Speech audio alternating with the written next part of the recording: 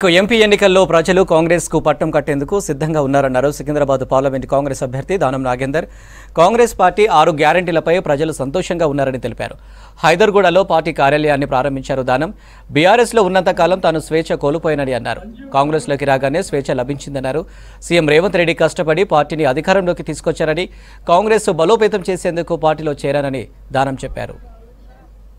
Central office ఉండాలి కాబట్టి రోజు రోజు కార్యాచరణ కార్యక్రమం ఉంటుంది కాబట్టి దానికి సంబంధించి ఈరోజు రమణ్ గౌడ్ గారు మహాలక్ష్మి రమణ్ గౌడ్ గారు రమణ్ గౌడ్ గారు అదేవిధంగా స్థానికంగా ఉన్నటువంటి డివిజన్ అధ్యక్షులు వారి ఆధ్వర్యంలో ఈ కార్యక్రమాన్ని ఈరోజు నిర్వహించుకున్నాం. ఈ కార్యాలయాన్ని ప్రారంభించుకున్నాం.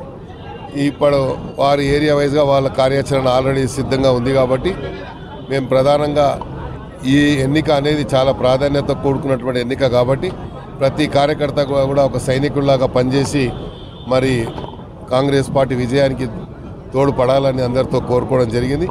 కార్యకర్తలందరూ కూడా కంకణబద్దులై పనిచేస్తూ ఉన్నారు.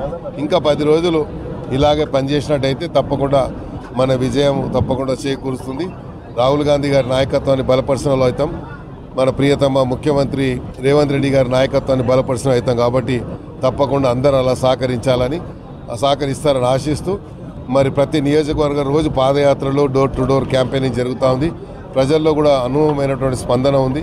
అందరు కోరుకుంటున్నారు రావాలని కాంగ్రెస్ రావాలని రాష్ట్రంలో ఎలాగైతే మార్పు వచ్చిందో కేంద్రంలో కూడా మార్పు రావాలని ప్రజలు కోరుకుంటారు కాబట్టి తప్పకుండా ఈ బీజేపీ నాయకులు ఎన్ని రకాలు ఇది చేసినా కూడా ఈ దేశంలో ఉన్నటువంటి బడుగు బలైన వర్గాల ఎస్టీ ఎస్సీలకు సంబంధించి ఒక కాస్ట్ సెన్సస్ జరగాలని కులగణన జరగాలని రాహుల్ గాంధీ గారి యొక్క జీవిత ఆశయంగా ఆయన చెప్తా ఉంటే ఇక్కడ ఉన్నటువంటి బీజేపీ పార్టీ ఏమో ఇది సాధ్యం కాదు అని చెప్పి ఏదైతే చెప్తా ఉన్నారో అందుకనే ఈ దేశంలో ఉన్నటువంటి ఎస్టీ ఎస్సీ బీసీ మైనారిటీలందరూ కూడా